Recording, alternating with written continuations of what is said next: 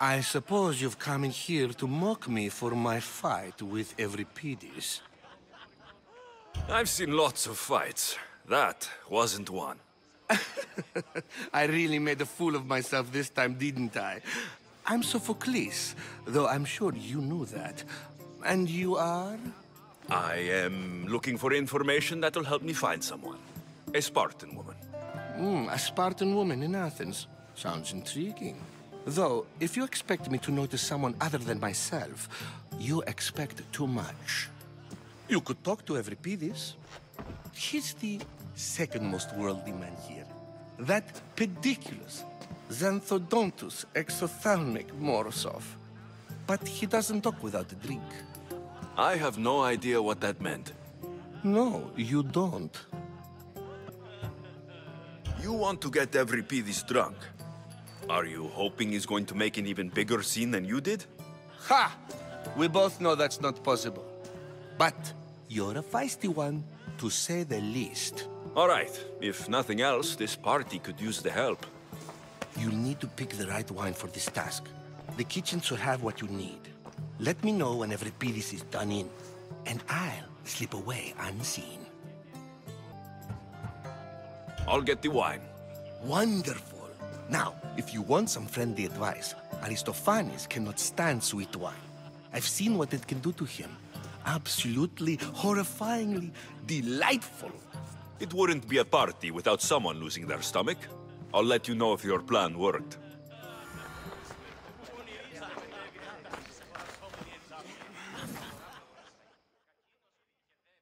Save for that arrogant playwright. I don't see many distinguished guests in here. Can I help you with something? I've come to get your finest dry wine. Yes, take it. But get out of my kitchen. I'm very busy, you know.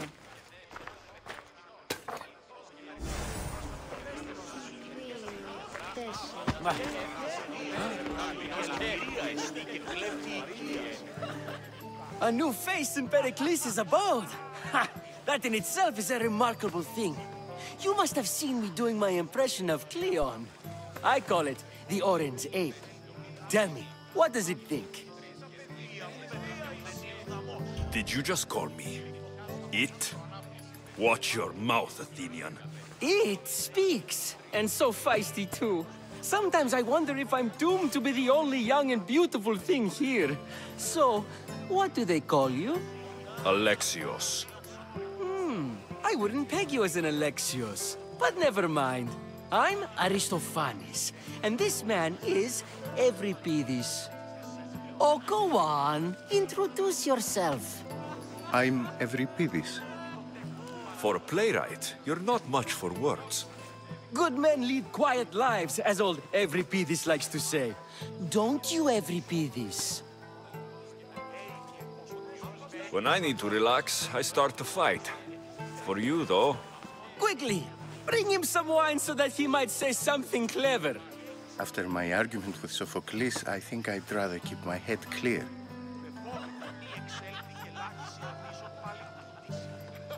you and Aristophanes could both use a drink. Let's play a game. A competition? Ah, wonderful idea. Every Euripides seems quiet, but he never turns down a challenge. Well, if you brought us some wine, I wouldn't be opposed to showing this young one how...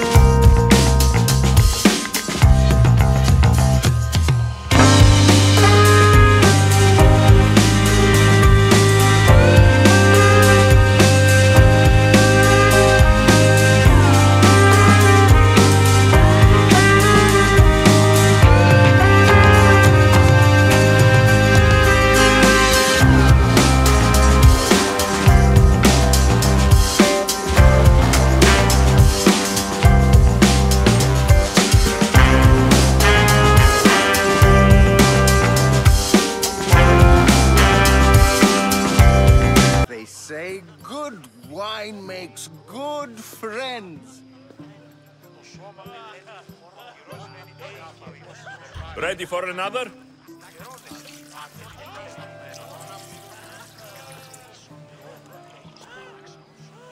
This is the best symposium I've been to in a while. You know what? I like you. Who brought you here? I brought myself. I'm on the trail of a woman who fled Sparta a long time ago.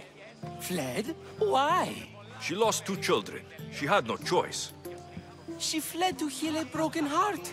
Euripides, write her into a play. I've heard Spartan mothers go to a sanctuary in Argolis to beg Asclepios for his divine pity. I should know, it's my home. After what she went through, I'm not sure she would trust priests. Oh, then she sought my friend, Hippocrates. He's a physician, best of the best. He still keeps his office in Argos. If she went to him for help, there's no doubt he'd have given it. I love getting drunk and singing. Come back if you want to sing with me. I'll think about it. Hippocrates Synarchos. Here I come.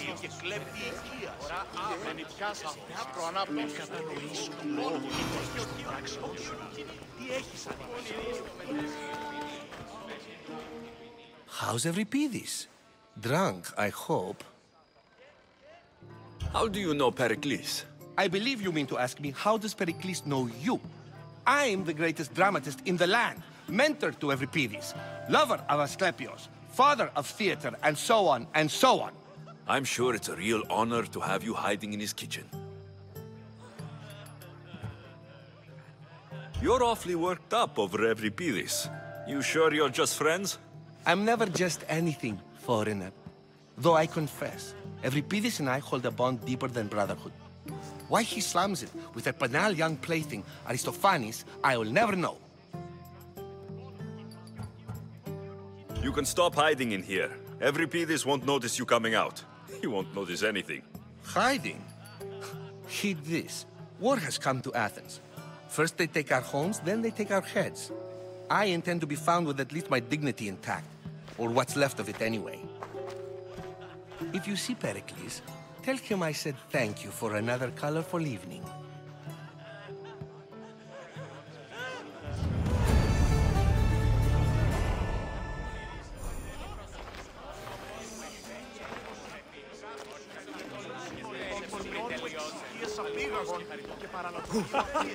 Αγεήσον τον αποψωλημένο κύριο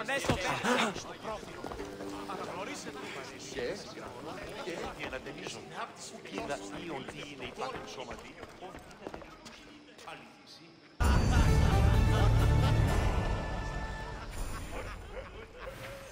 Έτσι πολλά παρεμιλήθαση άνευ οψοποιητικών Πού με ακούεις; Λέγω σι, η αγάπη σου με τα φίλων συμμορικών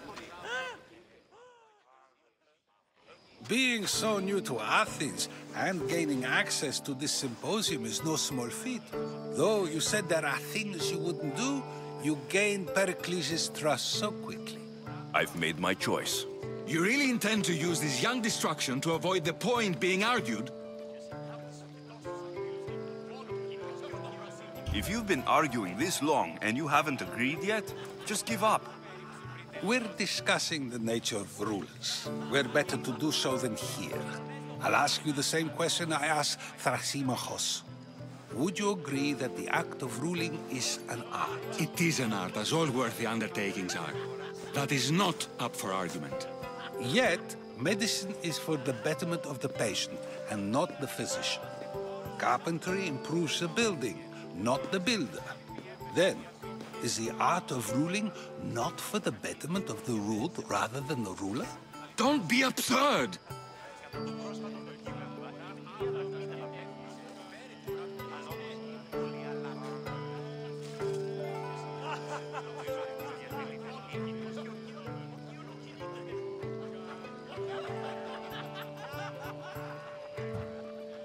This argument between you two is pointless. Perhaps.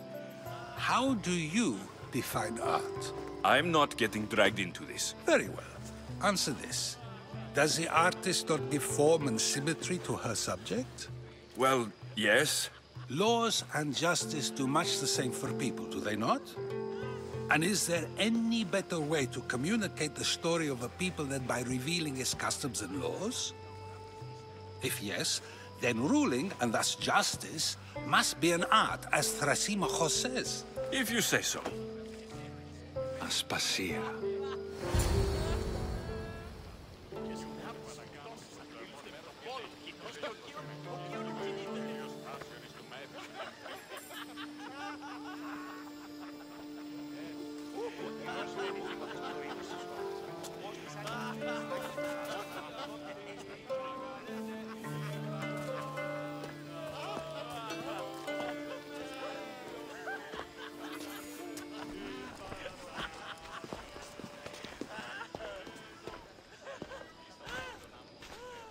You shouldn't be too hard on Socrates. He really has a brilliant mind, even if he comes off a little strong. He isn't always like that, is he? Ah, Phoebe. Pericles has retired to the balcony already, has he? His ability to sneak off and sulk is second to none. I can go get him, and Alexios can help. Everyone listens when he talks. That'll be fine. Run along. Alexios will be right behind you. Now, allow me to introduce myself. My name is Aspasia. I had to go to great lengths to cover up your work in Megaris. I did what I had to, and I do it again. I make no apologies. We do what we must to survive, and there's no shame in that. It's how you got here, how I got here. The clothes, they fit you well, I trust.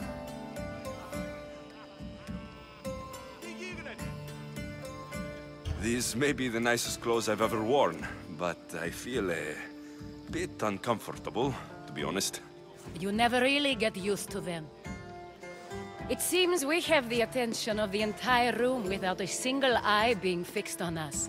If you'd like to talk, do it now, and do it discreetly. I've been searching for a woman named Myrrine, my mother. I think she may be in danger, and my search brought me here. What clues do you have to her whereabouts? A physician named Hippocrates may have seen her in Argos. He's a good man. If you find a woman named Agathi there, do let her know Aspasia sends her regards. What else? Alcibiades gave me the name of a woman in Corinth. I'm sure he did. My dear friend, Anthusa, is the only one I know who's enjoyed a life in Corinth through legitimate means. Mostly legitimate, anyway. That's all I have. There is another option. In a former life, when I needed something done or someone found, I contacted a friend. An admiral of a sort. What's his name? Her name is Xenia. When we last spoke, she was in Chios. A word of caution. When you go to her, be on your guard. Sea life makes a monster out of most people. Thank you, Aspasia. When you're done, return here. Together, we will find who you're looking for. Now do me a favor and get Pericles to come down here and greet his guests.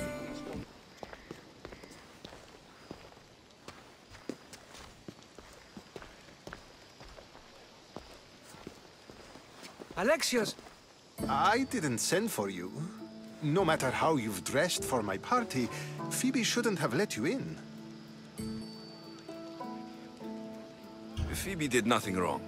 Aspasia asked her to let me in. Ah, of course she did. I can't say I'm thrilled about going down and speaking to everyone. Technically, you're a guest. If you join Herodotus and me, that should be enough for her, don't you think? You really don't want to go downstairs, do you? When your days are spent speaking in front of crowds, you begin to crave these moments of silence. Or as silent as I let it be, at least. Ah. Your life is in danger. yes, yes, Herodotus was saying. This cult doesn't worry me. I have my life threatened by far worse people every day. My true concern is Athens. I fear for her future. The Spartans aren't your real concern, Pericles. The cult is coming, and they're bringing their strongest weapon. Listen to him, Pericles. The Spartans are immediate. A cult's threat is ambiguous. I'm related to one of the cult members. And I believe her when she says they're coming after you. Sound counsel to consider. I'll be sure to let my men know, regardless. Aspasia sent me to see what's taking you so long. Tell Aspasia I'll be right there. I suppose this is where our conversation ends. Thank you again for helping me.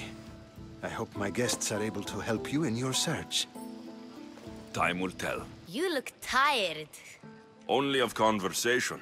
I think that's the most talking I've ever done. See? You didn't need the weapon after all. Are you leaving? I've had enough Athenian hospitality to last me a lifetime. You get used to it. It's nice. What are you going to do now? There's a woman on the island of Chios that I need to meet. I think I'll head there first. I've heard there are pirates there. I'll be sure to be careful. Good. Before you go, I heard something from Aspasia. About Kefalonia. What is it? She said there was some sort of plague. You don't think... My friend, the blood fever. Don't think like that. Whatever happened on Kefalonia isn't our fault.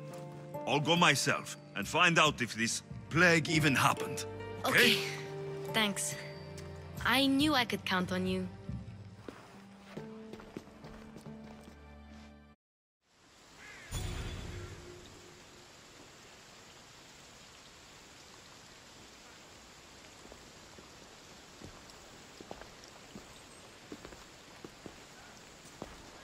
Not going to beg to come along this time?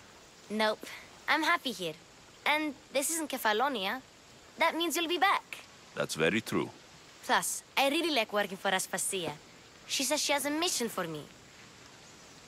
I'll see you soon, Phoebe. Bye, Alexios!